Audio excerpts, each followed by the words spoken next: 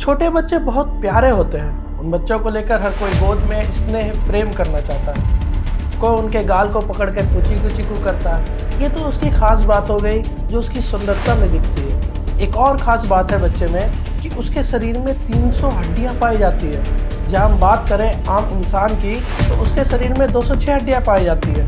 जो बच्चे के शरीर में 300 हड्डियाँ हैं, उसमें कुछ को कार्टिलेज के नाम से जाने जाते हैं। और जैसे जैसे बच्चे बड़े होते हैं, वो कार्टिलेज बॉन्स का रूप ले लेते हैं और वो बदल जाते हैं 206 हड्डियों में। क्या आज से पहले इस बारे में आपको नॉलेज थी? क्या आज से पहले इस बारे में आपको ज्ञान था? अगर नहीं तो हमारे चैनल को ज़रूर सब्सक्राइब करें और